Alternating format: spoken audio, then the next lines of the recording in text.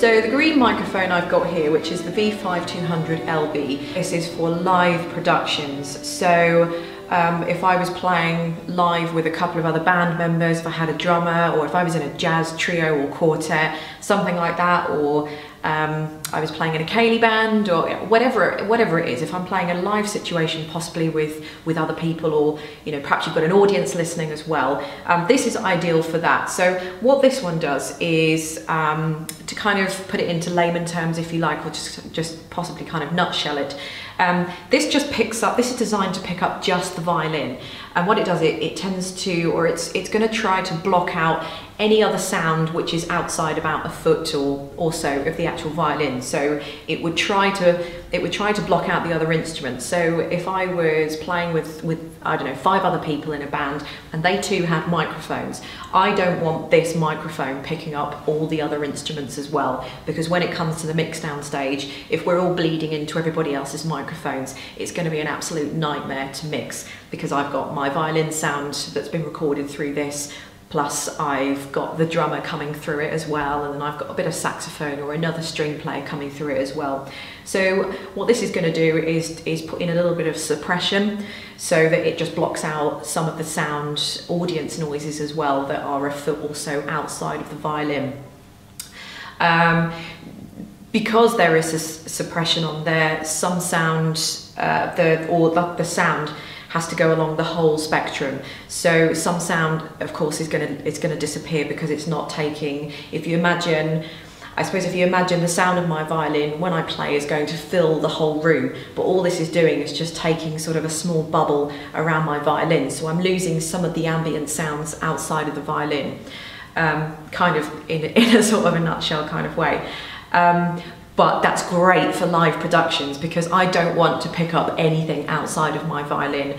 Um, I just want to pick up preferably just me because it's going to be so much easier to mix me, get, get my violin to have a nice sound, put some reverb, put some effects, that kind of thing. Otherwise, like I said, if you've got all the drummer and everything, you're going to be adding the effects to him as well and everybody else that you're with. Um, if you want to do a studio recording, of course, then they do have a separate microphone for that, which isn't going to do any suppression and it is going to pick up the full spectrum. But of course, you'd be in a studio environment where it would just be you as well. For my violin and the way my violin is, and you know, the the kind of the, the sound that comes from the violin, it's very high and it's very sweet. I personally prefer the sound that you get from the tailpiece, but you know, it's just a case of trial and error depending on, it really doesn't matter. There is no right or wrong way. Some of you might like that, that nicer, kind of fuller, kind of more gritty sound that you possibly get from underneath the soundboard. But like I said, for me, um, especially because I do a lot of studio-based recordings as well, um, you know, re recording for albums and backing tracks and all that kind of thing. So uh, for me, underneath the tail underneath the tailpiece works really well with my violin. So what they've done is split the violin frequencies into three sections. So they've got their fundamental tone register, which is the very highest that the violin, or the very highest note register level that the violin can get to, uh, ranging to the very lowest. Then the next thing you've got is the primary overtone register, um, which is amplified by the soundboard and it is dependent on the wood of the violin, the varnish of the violin, all those kind of different aspects on the violin.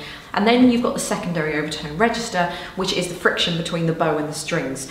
And what that does is it picks up the movement of air molecules um, as, as the, obviously as the bow is moving along the strings. Two things that were important for me, something that didn't cause any damage to my violin, which this certainly doesn't. It's very unobtrusive. Um, and also I wanted something that, that, was going to catch an ambient sound from my violin.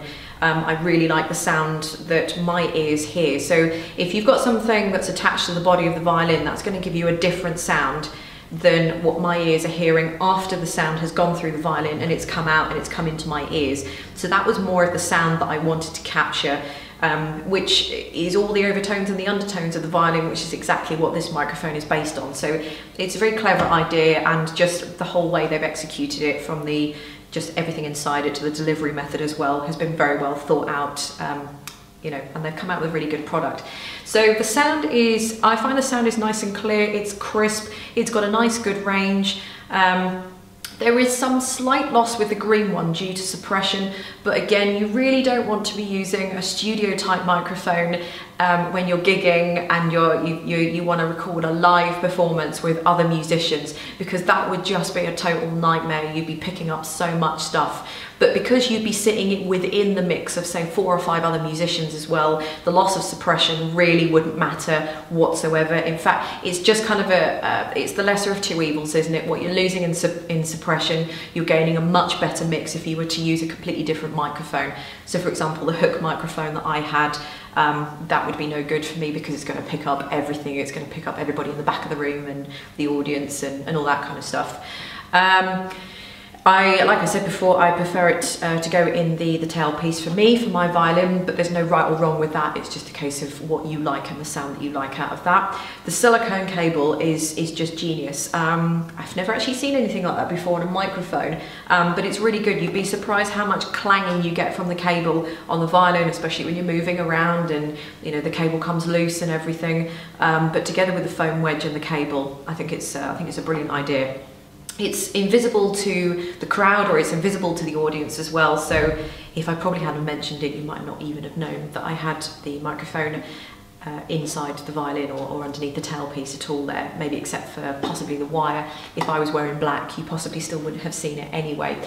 And also, uh, they say that you can leave it in the violin case as well, so you don't have to keep taking it out. Obviously, just just you can wrap up the cable. It's got one of those Velcro ties around the cable, so you don't have to keep removing the microphone. Obviously, the hook over one that I had, I had to keep removing that and putting it back in its case because I wouldn't be able to shut the lid of the case. But this one, pop the violin straight in, shut the case, zip it up, and off you go. Jobs are good.